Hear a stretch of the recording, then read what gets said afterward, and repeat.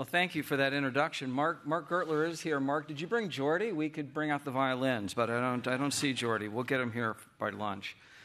Well, good morning and welcome to day two of the Federal Reserve System Conference on Monetary Policy Strategy, Tools, and Communication Practices. I think you will have to agree that the presentations and discussions yesterday were uniformly thoughtful, substantive, and stimulating. And today we will have another impressive lineup of speakers and panelists addressing timely topics that are relevant to our review. And let me, behave, let me convey on behalf of Chair Powell, the Board of Governors, and the Reserve Bank presidents a sincere and deep appreciation to all of the participants on this program, especially the authors of the seven outstanding papers, for the time, thought, and energy that went into preparing their contributions. Yesterday, Professors Eberly, Stock, and Wright provided us with a thorough and thoughtful evaluation of the Federal Reserve's monetary policy strategy, tools, and communications since 2009. They conclude that the policy tools that the FOMC relied on, what they call level and slope policy, helped to restore the U.S. economy to health and bring it close to the goals of maximum employment and price stability. As was noted several times yesterday, in recent years, forecasters and policymakers have been surprised by the decline in the unemployment rate and the, and the size of the sustained ongoing gains in payroll employment. FOMC participants' estimates of the longer run normal rate of unemployment in the SEP illustrate this point. They have drifted lower over time as labor market conditions have improved and inflation has remained quiescent. The paper by Professors Abraham and Haltiwanger provided us with an innovative search and matching model to estimate labor market slack, which complements, of course, the standard estimates based on unemployment gaps and Phillips curve relationships. On that same general topic, the panel discussion of national and community leaders, ably moderated by Governor Brainard, provided us with a very valuable perspective on the labor market that could not otherwise be gleaned from the aggregate data that we often consult. Of course, notwithstanding what is taught in many macroeconomic courses, the United States is not a closed economy, but is one of many nations engaged in global finance and economic commerce.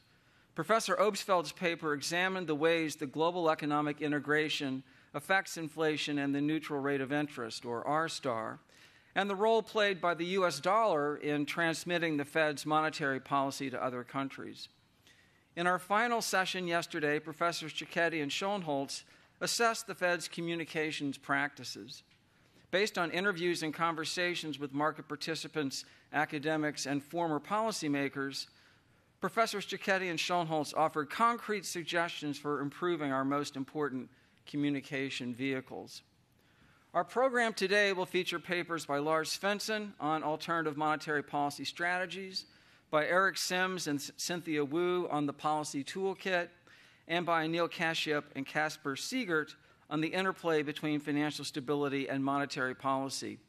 Our featured panel of national and community leaders, moderated by President Rosengren, will, I'm sure, offer valuable perspective on how the monetary policy levers that we pull and push affect communities, credit availability, and small business. Now, aside from being intellectually stimulating for two days, how does this week's conference fit into the FOMC's review of its monetary policy strategy, tools, and communications? Let me describe briefly how the review is structured. Over the past several months, the individual reserve banks have been hosting a series of Fed Listens events seven so far, including this conference, with at least five more to follow in coming months. Each event is organized with a format and list of participants that works best for that district, but with two common elements. First, that Fed officials do most of the listening, and second, that when feasible, the events be live streamed, as this one is today. In Dallas, we heard from local leaders about the challenges facing lower income communities.